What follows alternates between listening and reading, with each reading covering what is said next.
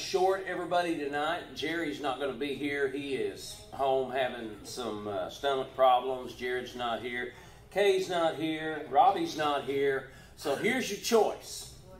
We can jump right into this and get done quick, or one of you can stand up and volunteer and sing.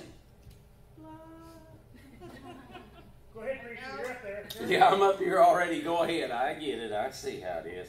Um, you guys, a uh, couple of things I'm going to ask you real quick is uh, keep keep Miss Margaret in your in your prayers uh, this week, and uh, last year was the anniversary for Andy's passing, and then. Um, also, Tom and Lois Cass, this is the anniversary of Diane's death also. You remember one was one week, one was the next week. It's just it's just a very difficult time for for both families. So keep them in uh, in your prayers uh, through this time. Then uh, remember our see you at the pole this week uh, will be, and I'm not sure what schools are doing what time. Uh, just check the local schools and, and find out. And then after they have the CU after the pole, nobody has contacted me on that, so I'm guessing uh, I'll find out probably Wednesday night when I get here who's here and who's not. Uh, Thursday, right? Thursday, Ephesians 5, ladies' Bible study at uh, Sue Pattison's house. Uh, Marion, I'm going to extend an invitation for you to go to that uh, with our ladies. They meet up here 1230, 1240. Uh, go and have a good uh, time of Bible study. And Sue not only fills them with the Word, she uh, fills them with some type of snack and food. And, and they bring it home to me, and my blood sugar does not always support it well. That cinnamon roll was the bomb. Wow, it was good. It didn't make it till coffee the next morning. Okay, I'm sorry. It's just one of those uh, those things that's there. Uh, be in prayer for our missions offering for the uh, month of September. Uh, we'll bring you up to date on where we're at on that uh, next week. And that's about, oh, the night to shine next Sunday night if you have a talent. And I say a talent. If you have something you'd like to share with the church, we want to give you that opportunity. Right now, four have signed up, and I told a couple of our kids at the pool party yesterday, I said, the more that sign up, that means the less I get to preach. So they decided they were going to get more people to uh, sign up. I don't know how that's that's going right now, but it is what it is. Good to have our director of missions with us and his wife, Ronnie and Marion. I got to ask you now, Marion. I asked Kim, but I'm going to ask you because you're going to know the right answer. How is the unpacking going? It's going great. Are you there yet? No, we still have some boxes in the garage, but it's really going very well. Well, that's what he said. But sometimes a man's perspective and a woman's is, well, in my house, they're always night and day different. And uh, uh, I did nothing wrong. He's just here visiting, I hope. well, We'll find out in a little bit. Remember the association meeting coming up on the 10th? Uh, I believe that's three weeks away. Okay. Put that on your calendar. All right, if you have your Bibles tonight, I want you to turn to Romans chapter 8. I was just getting ready to say that while you're turning. Caleb Martin has his uh, gallbladder surgery tomorrow. supposed to report at 8 o'clock, surgery at 9. Hopefully, he'll be home by noon. He'll be in McAlester. Is that right, Linda?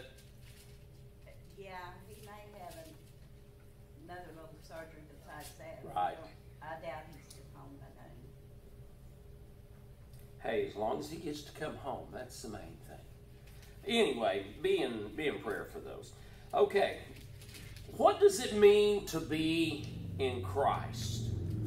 What does it mean to be in Christ? I was sharing with you two weeks, three weeks ago actually, Dr. Vines had mentioned three things about being in Christ. The first 13 verses, he tells us it, being in Christ means there's no condemnation.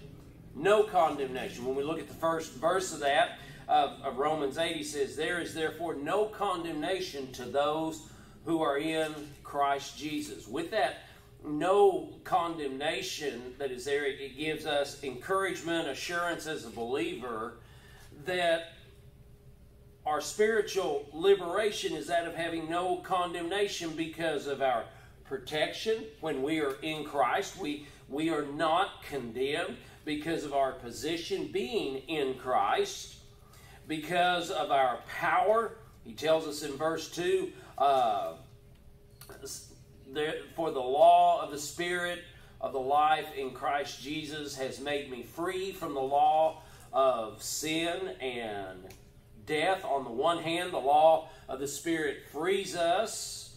On the other hand, the law of sin and death fetters us far away and distances us from Christ because through the law, and that law would have been the Mosaic law, we find that there's no one that can keep that law. None that is perfect, no, not one. And then we see because of our potential, we're weak through the flesh. While the law can show our sin, it cannot save us. The power to live the holy lives only comes being in Christ. We see that in verses 3 and 4. But then we looked the, the last week we looked being in Christ means no cancellation, no condemnation, no cancellation. Because of the promises that we have in verse 14, we have the promise of God's guidance. Verse 15 and 16, the promise of acceptance, God's acceptance. And then finally, we have the promise of problems in verse 17. And I know that's one we look at and we're going to go, well, that's just real exciting. We have a promise of problems. Yeah, there's going to be difficulties that's going to come. We have some today that want to say, all you have to do is accept Jesus and your life's going to be great. I will tell you, your life will get tough maybe even more complicated as it seems, but we have a hope that is there. And he tells us, if heirs, or if children, then heirs, and heirs of God, and joint heirs with Christ, if indeed we suffer with him, that we may be glorified with him. Now, the thing to remember is it doesn't say you're going to suffer, it says we suffer with him. With him. Why? Because we are in Christ. What overtook Christ? You're going to say death. No. Jesus submitted willingly to death, even death on the cross. They did not kill him, he gave himself.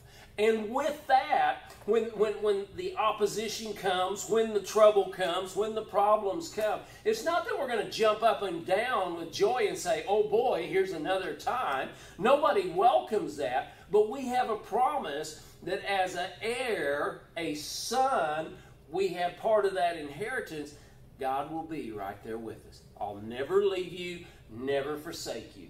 Greater is He that's in you than is in the world. We are more than conquerors, and, and we'll see that in just a little while. All of those promises are there. And the problems are going to be listen, you can't live a life as a believer or a non believer and not have problems. You're going to have them. You go look at non believers and you're going to say in your life, you know, since I've accepted Christ, it seems like there's been more problems. Look around really close at other people that are out there. And you will see they struggle also. But the big difference is you struggle with the hope that you have in Jesus Christ. They struggle and have no hope that is there. So we have no condemnation, no cancellation, and I love the one this evening no separation no separation. Let's read verses 28 uh, to 39. And we know that all things work together for the good to those who love the Lord, to those who are called according to his purpose.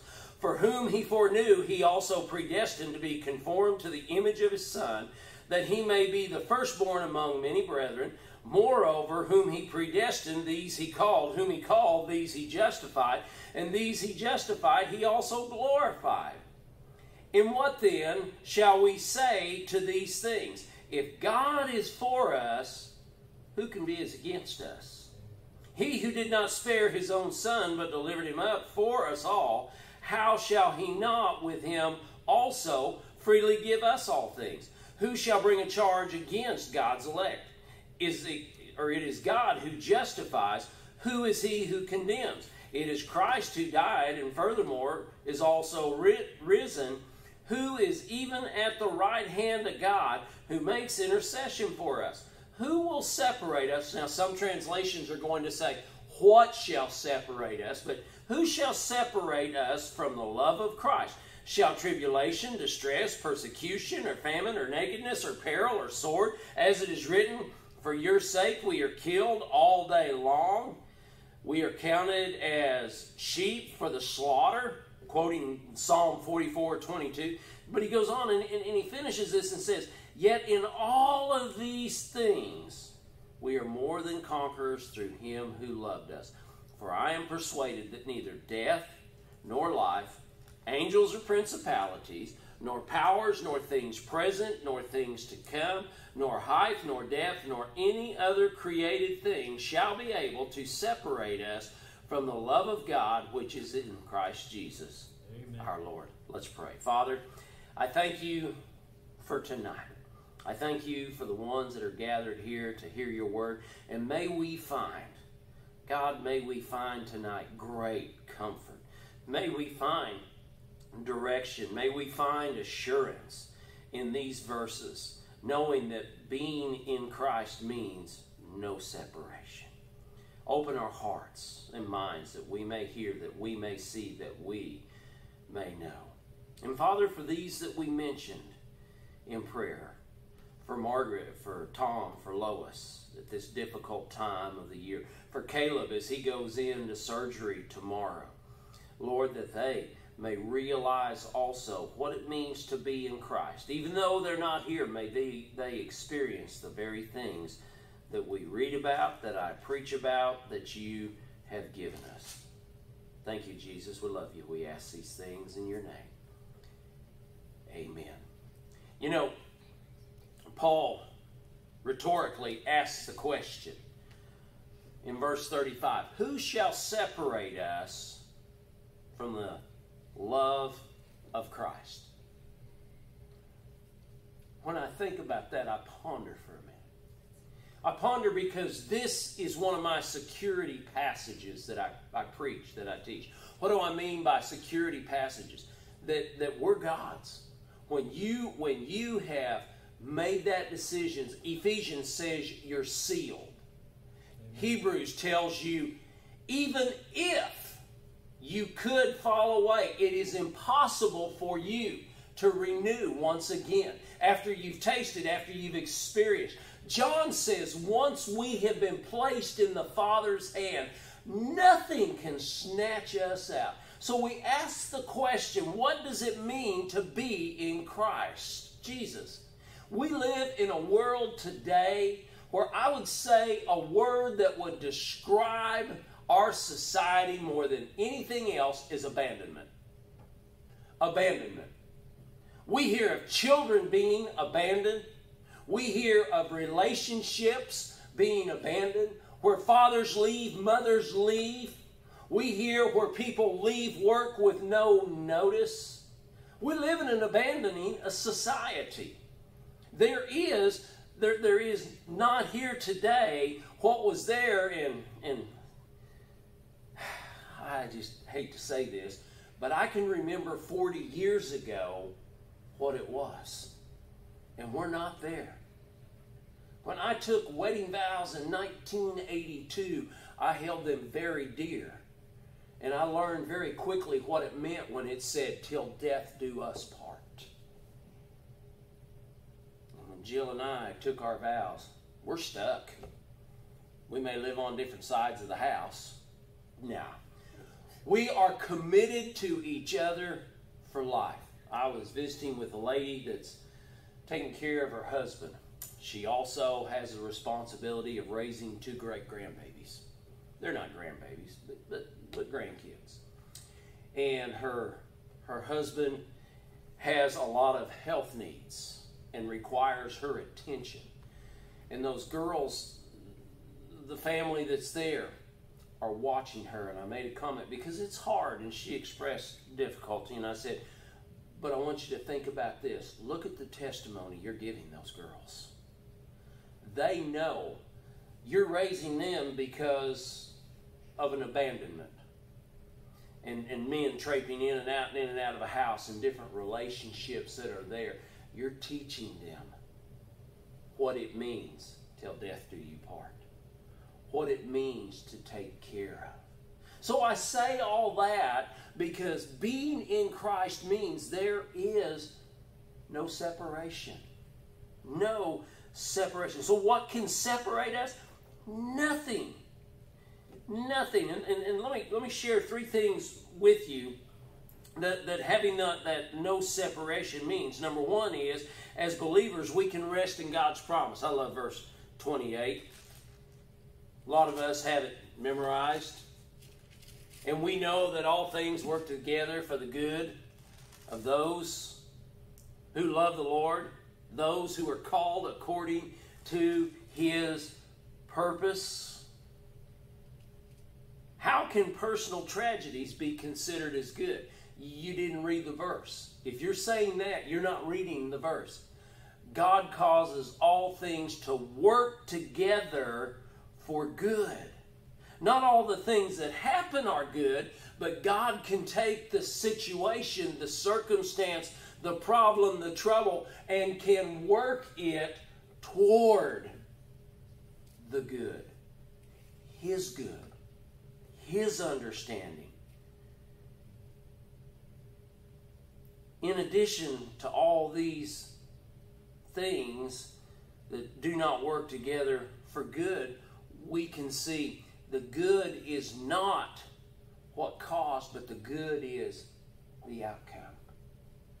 The outcome. Tomorrow's Brother Ralph Carpenter's homegoing service. I, find it hard to say that, that, that he passed, he died, and I know he did, but I know where Ralph's at. Some of you have known Ralph way longer than I have. I've known him since 1996. I got straightened out yesterday, Greta, because I was I, I, I, said Ralph when he found out I was looking for a church, he called you up, and the individual said no. Larry Moore said he called me, and I called Greta. But Ralph is, is the one that's responsible for getting me down here in this area. So if you're unhappy, it's too late to take it up with him. But but Ralph, Ralph wasn't perfect, but Ralph was a good guy. Ralph loved the Lord and he didn't mind telling. And in the last couple years, Ralph has had a real hard time. And I know where he's at. And, and, and when his wife passed five years ago, six years ago, there's a big part of him that passed with it. Those two were a team. And you know, when I look at the sadness that's there, I look at the outcome. What does Paul say about death? Being absent in the body is present, present with the Lord. And I know where he's at. I know where he's at. You know, sometimes we have to see the problems that come so we can see the blessings that we already have. Sometimes we're like those. I read was reading this this morning in Dr. Wiersbe's study Bible with the Israelites making the way, the, the former generation has passed away, and, and, and we're in Deuteronomy, and Moses is reading to the new generation the law and giving all the commands. And, and, and Dr. Wiersbe, in his introduction to Deuteronomy, was, was telling one of the things that had happened is, is yes, the former generation was a stiff necked, hard hearted generation. They grumbled all the time. They, they're just nothing could make them happy and said, you know, they had forgotten when they got to Kadesh Barnea to go in to take the promised land. They had forgotten all that God had done for them. Last week we looked at Joshua in the morning service and Joshua leading them in, but Joshua was with that first generation. He was that generation. And, and they had forgotten, all they could see was giants there's this big fruit because big giants eat that fruit. That's why, remember? So when we when they looked at that, they had forgotten about 10 plagues. They had forgotten about the crossing of the Red Sea on dry ground and collapsing upon the Egyptian army. They had forgotten about water coming from the rock that's fed two, three, four million people. They had forgotten about the manna that God had provided for them. They had forgotten about all these other things. Matter of fact, they got so accustomed to the manna, it grew old to them. We're sick of this manna. Oh, that we could have the leeks and the, and the vegetables from Egypt. If we could just go back there instead of being in the desert. And they missed the blessing. Sometimes things happen to remind us of the blessings that we have and what God has done for this. This, this verse that we look at in, in, in, in verse 28, all things, we know all, th- all things work together for the good. Not all things are good. As believers, we know that. That's something that non believers cannot understand. This verse makes sense to us, but Paul puts it, we know. Of course, the only way we know, though, is through trust. Is through trust. And is that not what it means to be in Christ? We have to trust Him. You know, I, I, I look back at some of the Old Testament characters. Elijah fighting or, or bat, battling, dueling with the prophets on Mount Carmel.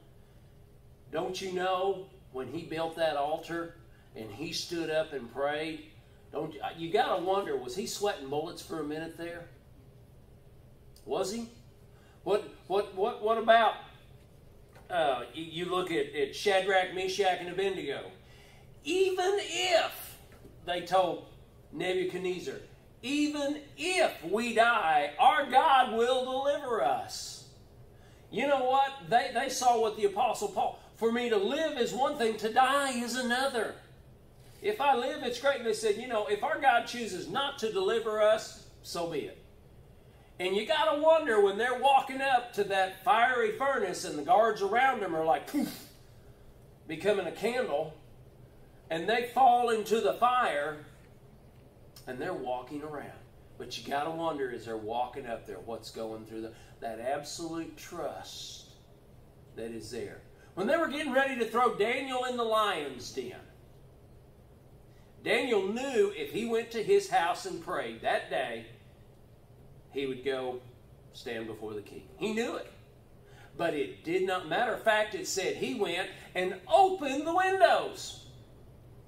In doing that, he allowed everybody to see in. All he had to do was shut those curtains, put those, whatever it was covering the window, and they would have never known. Oh no, he makes sure they're open so they know. What about Esther when she went before the king? Wonder how she felt. Well, I do believe it's raining outside. Maybe we ought to do a happy dance.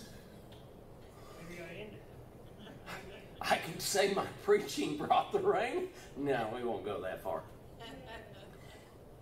But, but I want you to see when you even look at the New Testament, here's John, an old man, and he's in exile, thinking, I will never get off this island alive. And then what happens in the midst of all of that? He has the revelation from God. What about Peter when he's in jail, knowing the next day he's going to be like James? He's going to lose his head. The angel smote him on the side and said, Get your clothes and come on. And he thought it was a vision following out. It wasn't until the gate closed and he thought, Wow, this is real. And he went. What about the Apostle Paul and the many trials that he went to and through? So we see that only a believer can experience this because we have to have the trust pardon the old cliche and not, not necessarily scriptural, but if he brings you to it, he'll take you through it. No separation. It means we have rest in God. And you know, I, I like that. We can rest. We don't have to worry about it. God's got this. But secondly, as believers, we can rejoice in God's plan. And believe it or not, God has got a plan for all of this. This isn't just something happen chance and something happens and God's wringing his hands. Oh my, I didn't see this one coming. What are we going to do? I, I just, I can't believe. God knows it. Now, we're going to get into something that, that may make some people uncomfortable, but I believe in foreknowledge and predestination.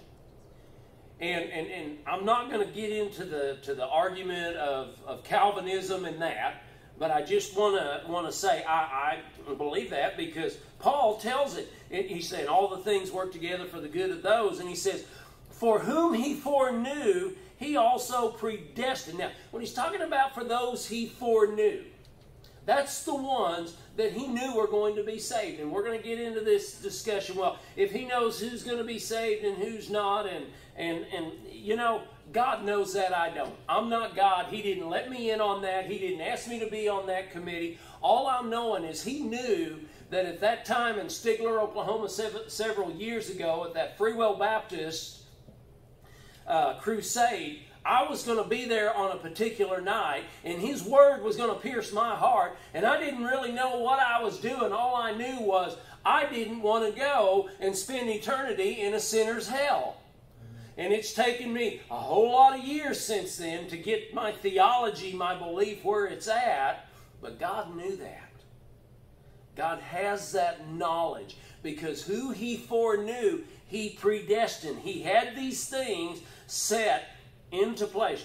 He predestined, and being predestined, predestined, He conformed us to the image of His Son. Now, there, there is a interesting word study that, that is done when we look at image. And one of the words, there's three words for it, Greek words. One of them is the word icon. Is the word icon. So we see with that, that icon is representative of something. We are formed in his image. We are an icon. We are not a mirror of him, but we are a representative of him. Because he predestined us, because he foreknew us but to be conformed to the image of his Son, that he might be the firstborn among many brethren. Moreover, those he predestined, he called, whom he called, these he also justified, who he justified, he also glorified. Wow, that's a bunch of those five words, isn't it? That just I made that up. But but I want you to see that's reason for us to rejoice. When we start looking at this, what, what is there that we can rejoice about that no separation? What is it that He gives us that we can rejoice about? Number one, He foreknew. He knows your name. He knows your, your name is written in a book. It's either written in the book of life or the Lamb's book of life, sealed in the Lamb's book of life. But your name is written down. God knows you. And, and human knowledge is after the fact. God's knowledge has no limitation, no timeline to it. But I want you to see, secondly, he goes on in verse 29 and he doesn't just say his wisdom, he foreknew us, but because of his will, he predestined us. His will. Predestination has to do with the ultimate destiny of a child of God. Not the unsaved, but a child of God. God's intention for every lost person is clear. But God has an intention for every saved person as well. I go back and think, I'm definitely not Jewish. But because, because Jesus died for all. He gave the opportunity that whosoever believes in him, whosoever calls upon the name of the Lord, I am that whosoever. Amen. You are that whosoever also. I love that song. Whosoever surely meaneth me. Surely meaneth me. Whosoever surely meaneth me. I remember the first time I heard that song. Dewart, it was up to the Free Will Baptist Church in Stigler, Oklahoma. Matter of fact, we sang it in Bernice Baxter's Sunday school class. That's where I learned that song. And I loved it. And I have never forgotten it. God has a will for all of us. And His intention is for all of us to be subject to that will. His wisdom His will, and then thirdly, His word. Verse 30, he says, He called. Those He foreknew, He predestined. Those He predestined, He called. God issues a call for all of us. You can look at 1 Timothy 4.10 and see where Paul even writes to Timothy about that. Remember, Falls Creek, Oklahoma, hearing that call of God, not knowing what he wanted to do, not having the foggiest idea what he wanted to do.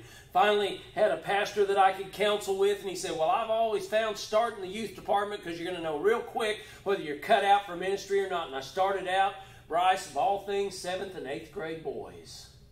There was about 12 or 13 of them. Had a blast. Had a blast. A couple years later, God changed that call and moved it to pastoral ministry.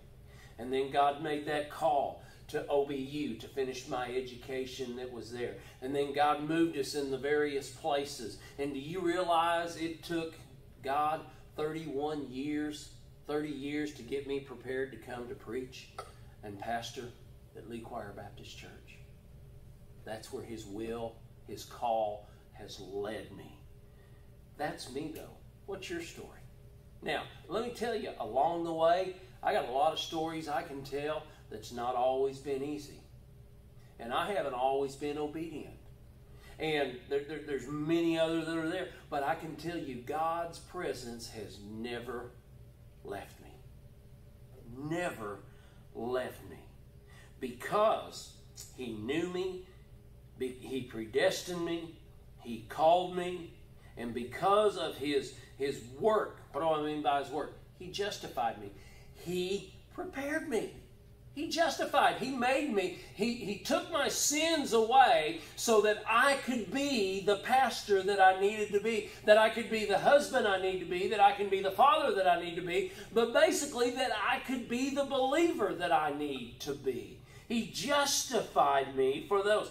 Being justified is an act God Himself does, making us not guilty. I just want to picture the court where the judge looks at the jury and says, Have you reached a verdict? And they say, Yes, Your Honor, we have. What find ye? And the, the jury says, We find the defendant not guilty. And the judge goes, Not guilty, and slams the gavel down. Case dismissed. Satan wants to accuse us. Satan wants to condemn us. Satan wants to convince us we are not worthy of God's love. We are not worthy of Jesus. And He's right. We're not. But through the death, burial, and resurrection and ascension of Jesus, He justified us. And God said, not guilty. Amen. We're not guilty. How many other people, how many people have you ever wronged and they could not forgive you? How many people have wronged you and you said, I will never forgive them? How, how, how do you get over the hurt that is there? And I want to look at people and I want to say, how does God get over the hurt that you caused him? To sacrifice his son for you. Well, I'm not a bad person, preacher. I, I haven't done any of the big sins. But the fact is, you sinned. See, God doesn't look at it in sizes, in measurements. It's sin. And the Bible says, all have sinned. The wages of sin is death, but the free gift of God is eternal life. Being justified means we don't get what we deserve because we are justified.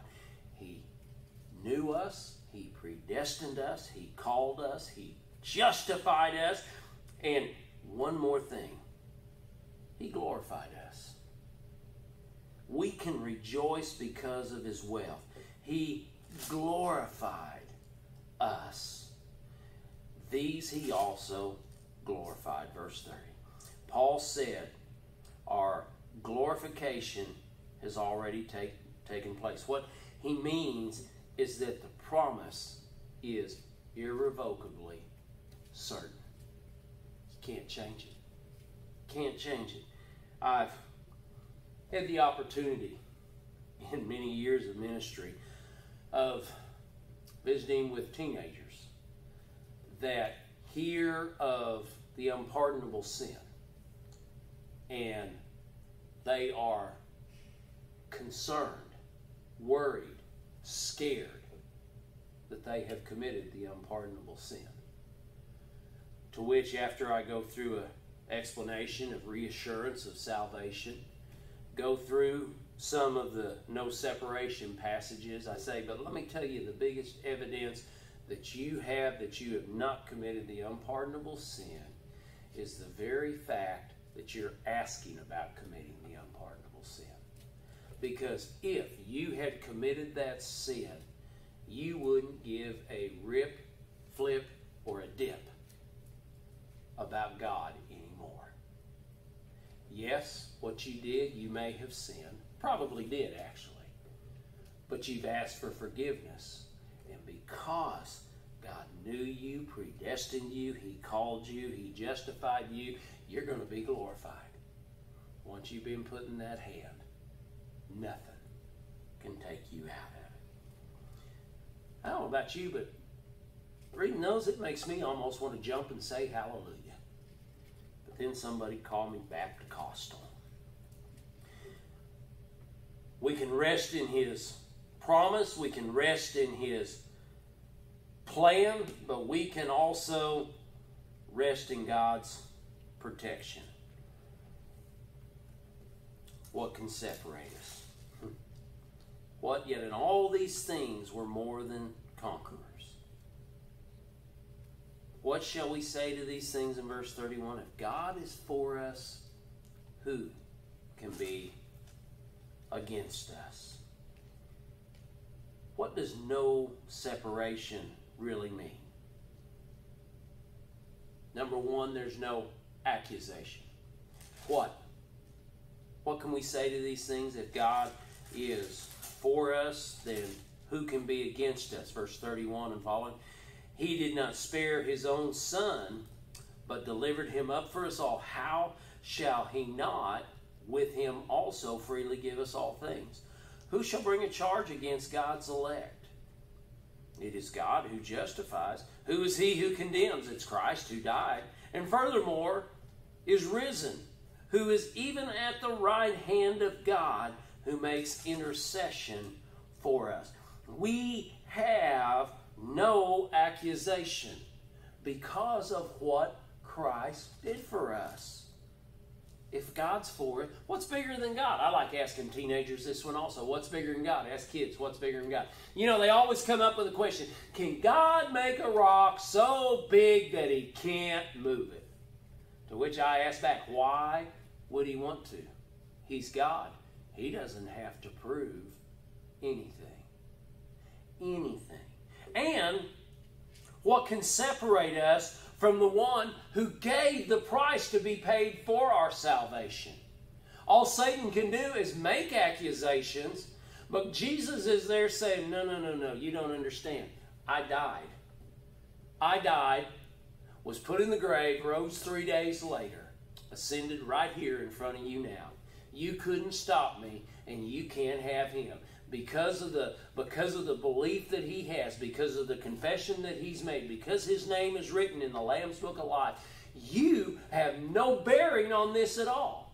And we need to see that. There is no accusation. But Satan does, as I just mentioned, he makes the accusation to you. You're not worth it. You're not worthy. Oh, look what you did. You call yourself a Christian and you did this. You know, there's been some great men, great men through history, but they will acknowledge their faults also. No one will say, I'm good enough, I did it on my own, because they can't. Because they cannot. So we see that, that with this, there is no accusation, but not only that, there's no desperation. What do I mean by desperation? Look at 35, 36, and 37. Who shall separate us from the love of Christ? Shall tribulation, distress, persecution, famine, nakedness, peril, or sword. Now, as, as Paul's writing all of this down, you have to understand this is the very thing that believers were going through. This is the very thing that, that, that believers were subjected to, yes, by some of the Jews, yes, by the Romans, absolutely, by the Roman guards, soldiers, by the, the, the Roman emperor himself. Yes, when you read over in, in Hebrews with Faith's Hall of Fame and you get to the end of that and you hear about the ones that were naked wandering around in the desert, that were boiled in oil, that were sawn, sawn in two. Yes, he's saying, who's going to separate us from the love of Christ? If they are to do, why were they persecuting like this? Trying to get the people to denounce. And they refused and it caused them to be separated from their families. It caused them excruciating pain. It caused them even death. But Paul is saying, and, and so I want you to know when Paul's writing this, the Romans knew exactly what Paul was talking because they probably witnessed it on a daily basis from those that were around. He said, What's going to separate us? All these things? Don't you remember what, what the psalmist wrote? We're killed all day long, we're counted as sheep for the slaughter. But even in this, yet in all these things, we are conquerors through him who loved us. Do you see the theme of Jesus just over and over and over and over again? In Christ, in Christ, in Christ. And that's got to be where our foundation is at. If we build our foundation on anything else, we're going to crumble, we're going to fall. But he's going on and says, What can, can, can separate? Nothing. In all these things we're more than conquerors. I am persuaded. And he goes on and tells us these things that are so there's no desperation. You don't need to be excited. You don't need to be anxious. Even if these things come, you see, we put our our emphasis, we put our attitude, we put everything in the wrong area. Everything we have here is temporal. It's temporal. We may live to be 40, 50, 60, 100 years old, but the fact of the matter is we're still going to die. Jacob lived to be 140 years old. His dad lived to be 170 years old. Abraham lived to be 170 years old. But for what? For what? They still died. And we have to remember this is not our home. Paul tells us in Corinthians we're only ambassadors. And an ambassador is a foreigner living in a, in a country, in a place, but he's representing something else. I love that. We have a home in heaven, and we are here in our, on earth representing God. But that's not where we're from. And that's not where we're going back to. Ambassadors are called back. Ambassadors are fired sometimes. As an ambassador here, I won't be fired, but I will be called back. I will be called back. So we see with that, there's no desperation. There's no anxiety for me. And, I, and again, Paul said it absent in the body is present with the Lord. Hey, if I'm not here, I'm up there. And if I'm up there, you don't even need to worry about me. I'm going to be having the time of my afterlife, my eternal life. But then, one more thing there's no accusation, desperation, there is no isolation. Paul says, verse 39, or excuse me, verse 38 I am persuaded that neither life or death, angels or principalities, things present, things to come, height, depth, any other created thing will be able to separate us from the love of God which is in Christ Jesus. Now, just like we started this with, we know all things work together for the good of those who love the Lord, called according to his purpose. Only Christians are going to understand this. It's not the bad things, it's the outcome that's there. When you look at this verse, the very end gives you the answer to that. Neither any of these things can separate us. It does not say separate us from the world, but separate us from the love of God which is in Christ Jesus our Lord. Think about that a minute. Will God ever quit loving you? Will you ever quit loving a child? Can you ever quit loving a child? The love of Christ, or love of God, which is in Christ Jesus. Every time I read that, it, it, it, it, still, I can't fathom it. How could God love me? And he goes on, or, or, or he says, with that, death, life, angels, principalities, powers, present, come, height, depth, any other created. Nothing. Do you get that? Nothing. Once you're there, you are, as he wrote in Ephesians, sealed. Sealed. You know the thing about a document that was sealed? It could that seal could only be broken by someone who was worthy. In Revelation, it was the Lamb of God. When you when you look at it, uh, if, if, if it's someone that is sold into slavery because of a debt that they owed, that seal was put on a document, and only the redeeming family member could open that. And I, I love that because we have been sealed by God, and only God or Jesus, only they can break that seal. But it can only be broken when? When you're redeemed. And that redemption will come. Yes, I've been redeemed, but I will have that glorified body one day when that seal is broke. Isn't that awesome? No separation, no cancellation, no condemnation. Why? Two words in Christ. But you have to be in Christ. Let's pray. Father, thanks for tonight. Thanks for this time of study. Thank you for all that you've done for us. We are so unworthy, God. There's none of us that are righteous. Your word says, no, not one. Old Testament, New Testament, both. But yet we are found righteous because of what your Son has done. And we thank you for that. May we not just believe it. God, now let us live it. Forgive us where we failed you. In your name we pray. Amen.